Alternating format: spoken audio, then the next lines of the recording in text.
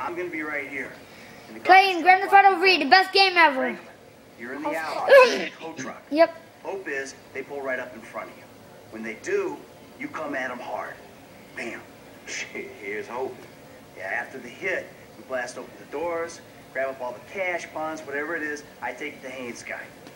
Talk a little hope for home. As long as I am not on the ground when the shit goes down, okay? When the shit goes down, we'll handle it. You stay up here, on your post, eyes peeled. Yeah, okay? We'll take the risk. Sound cool? Shit, you the professional, dog. And at least we're not wearing clown outfits. There's a plus. Right. The masks. What? Let's see what we got here. Huh?